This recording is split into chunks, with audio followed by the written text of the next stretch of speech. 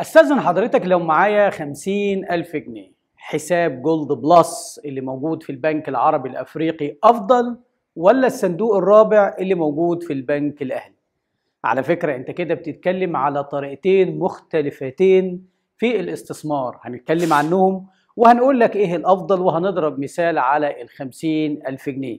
من الواضح إن حضرتك متابع موضوع حساب Gold Plus إن الحد الأدنى خمسين ألف جنيه. فخليك معانا إن شاء الله هنرد على السؤال ونوضح الفرق ما بين الحساب والصندوق وأيضا نوضح الفرق ما بين البنكين. أنت بتتكلم أيضا على بنكين البنك العربي الأفريقي والبنك الأهلي المصري. معاكم دكتور محمد العجمي وتعالوا معانا. السلام عليكم ودي صباح البنوك. وادعوا معانا إن ربنا ينصر أهالينا في فلسطين. في سؤال جنة على القناة بيستفسر حوالين إن هو معاه خمسين ألف جنيه. الأفضل يوديهم حساب في البنك العربي الأفريقي الدولي اسمه حساب توفير Golden Plus ولا الأفضل يوديه للبنك الأهلي المصري؟ في الصندوق الرابع في اختلاف كبير جدا ما بين البنكين ده اسمه العربي الأفريقي الدولي وده اسمه البنك الأهلي المصري. الاثنين بيختلفوا اختلافات كبيرة جدا وخاصة من قصة المصاريف. عادة المصاريف تبقى أعلى شوية في البنك العربي الأفريقي الدولي. ولكن إحنا هنتكلم على الاستثمار الخمسين ألف جنيه في حساب توفير وفي صندوق. اولا لازم تفرق ما بين الاثنين. الصندوق ده وعاء ادخاري حضرتك وغيرك بيجمع فيه فلوس وبعد كده في شركة متخصصة بتاخد الفلوس دي ويتم إدارتها. بالنسبة للصندوق الرابع ده صندوق نقد بيديك عائد تراكمي سعر الوثيقة بيعلى وحاليا سعر الوثيقة عاملة 295 جنيه و73 قرش. وبيديك أيضا كوبون شهري الكوبون ده كان 5 جنيه على الوثيقة وتم صرفه أول الشهر الحالي. الإدارة دي بتاخد الفلوس وتقعد تستثمرها في أوعية ادخارية زي صناديق مشابهة زي أذون الخزانة زي الودايع وزي الشهادات. يعني صندوق اللي إحنا بنتكلم ده اسمه صندوق نقدي. نقدي يعني مستثمر في أدوات الدين. فدي طريقة استثمارية مختلفة. عملية البيع مش زي الحساب. عملية البيع لازم تروح البنك قبل الساعة 12 وتكتب طلب وبعد كده تسترد جزء من الوثائق أو كل الوثائق. أو أنت لو عايز تشتري بتروح البنك وتبدأ تشتري من البنك بعد كده بيسيل لك الفلوس ويحطها لك في حسابك تقدر تسحبها ببطاقة الخصم اللي معاك. ده برضو الصندوق. فالصندوق ليه طبيعة خاصة. الصندوق عائد تراكمي يعني كل يوم بيضيف العائد إلى سعر الوثيقة يعني النهاردة عاملة 295 و 73 ممكن بكرة تلاقيها 74 75 كده يعني على حسب العوائد والتقديرات اللي بتتم. أما بالنسبة لحسابات التوفير وحساب Golden Plus الحساب ده ليه حد أدنى عشان خاطر تستثمر فيه. وهو خمسين ألف جنيه والسائل لما سأل قال خمسين ألف جنيه يبقى إذا هو عارف إن الحد الأدنى ليه خمسين ألف جنيه. ولكن لازم تبقى عارف إن في مصاريف على الحساب.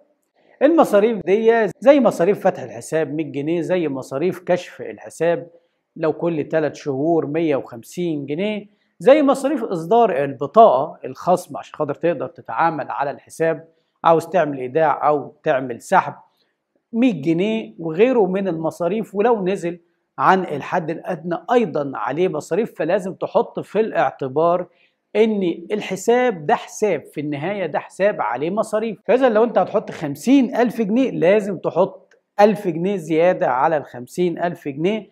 لأن هو بياخد منها المصاريف لأن لو خد من الخمسين ألف جنيه المصاريف حتى لو 100 جنيه فقط أنت ما بتاخدش عائد على الفلوس بتاعتك اللي هي نقصت عن الخمسين ألف جنيه فلازم يكون عندك إدراك لهذا الموضوع بشكل كبير جدا طب لما نيجي نسأل على حساب الفايدة حساب الفايدة ما بين الاتنين إيه؟ بالنسبة للصندوق وفقا لآخر 12 شهر أو آخر سنة كان العائد المحقق 20% ولما نقول العائد المحقق يعني صندوق الاستثمار العائد بتاعه متغير. يعني ممكن يزيد وممكن ينقص. طب هل ممكن أصل المبلغ ينقص؟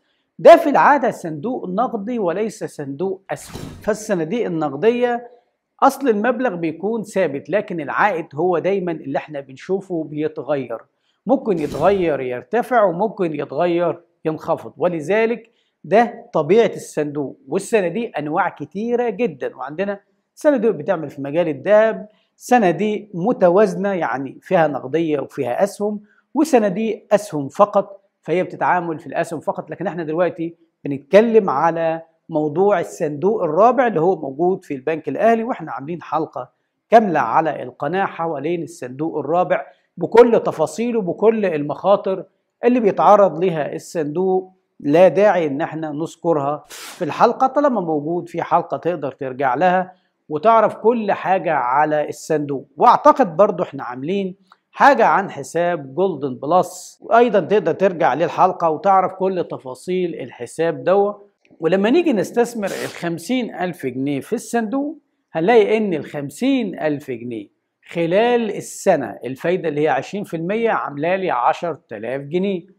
لما تيجي تقسم العائد اللي هو 10000 جنيه على ال 12 شهر هتلاقي إن كل شهر عامل 833 زي ما قلنا مع وضع في الاعتبار طبيعة إن ده صندوق. وهنروح دلوقتي لحساب Golden Plus فده العائد اللي جاي من الصندوق. طبعا العائد ما بتاخدوش بالشكل ده هو العائد جزء منه الوثيقة بترتفع لوحدها والجزء الثاني بتاخده في شكل كوبونات. فده بيختلف عن الحساب. هنروح بقى لحساب Golden Plus طب العائد على الحساب قد إيه؟ إحنا ضربنا مثال على عائد شهري. فالحساب ده بيديك أربع أنواع من دوريات صرف العائد. أنت اللي بتختارهم مش البنك اللي بيختارهم. يعني في دورية صرف عائد شهري وكل ثلاث شهور وكل ست شهور وكل سنة. أربع دوريات صرف عائد. تختلف أسعار الفايدة وفقا لاختيارك أنت لدورية صرف العائد. يعني أنت لو اخترت دورية صرف العائد شهري 23% اخترتها كل 3 شهور 23.5% اخترتها كل 6 شهور 24% لو اخترتها سنة هتلاقيها عاملة 25% ولو حبينا نضرب على المثال ال 50 ألف جنيه في العائد اللي هو شهري هنضرب في 23% يعني هيديك 11500 في السنة.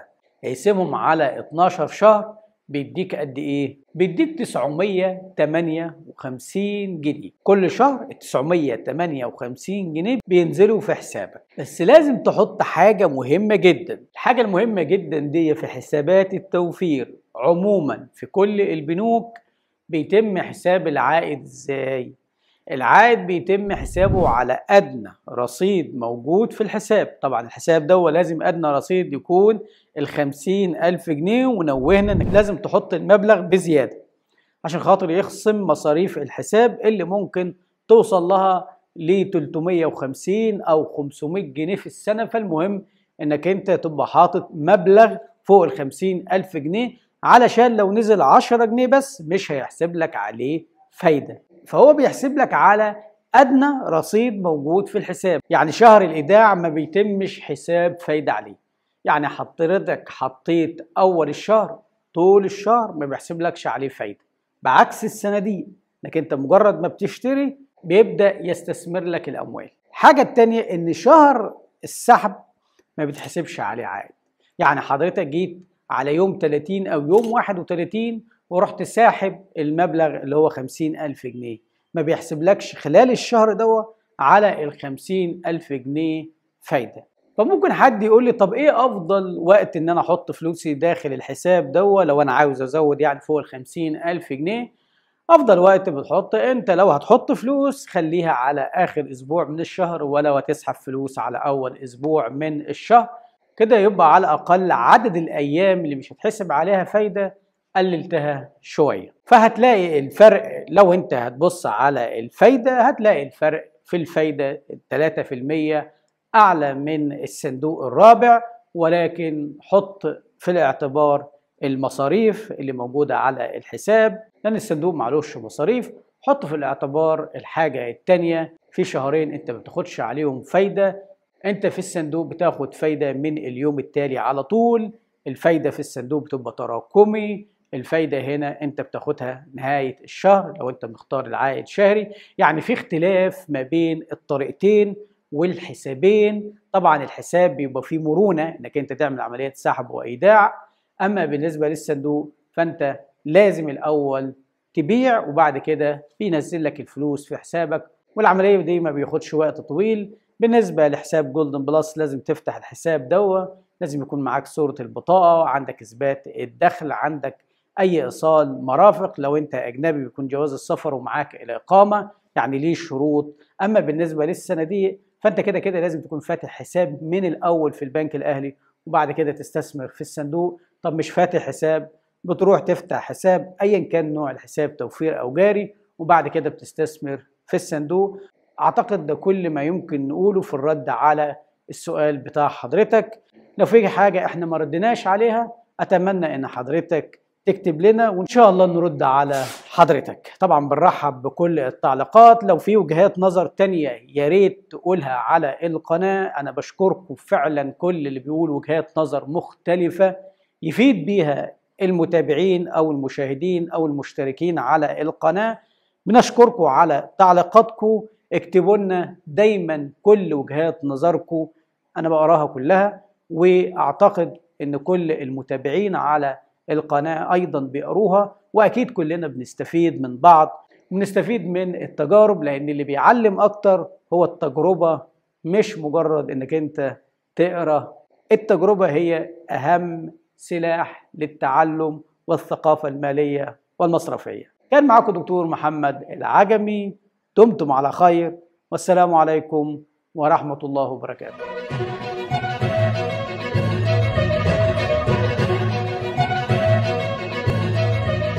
بص كده على القناة بحيث تقدر تتعرف على الفيديوهات اللي موجودة على القناة لأن في كتير من تساؤلات حضراتكم إجابتها موجودة في فيديوهات عملناها قبل كده. كلهم بيتعلقوا بالبنوك وتعاملات العملاء. سؤال جه على القناة بيستفسر حوالين إيه هو الفرق ما بين الحساب الجاري المدين أو القرض بضمان الأوعية؟ في البداية الاثنين قرض. ده بيكون قرض بضمان الشهادة والتاني أيضا بيكون قرض بضمان أوعية ادخارية موجودة داخل البنوك أو بضمان سمعة العميل نفسه مع تاريخه مع البنك. فالبنك بيشوف إن العميل ده منتظم والعميل ده عنده ملاءة مالية كويسة.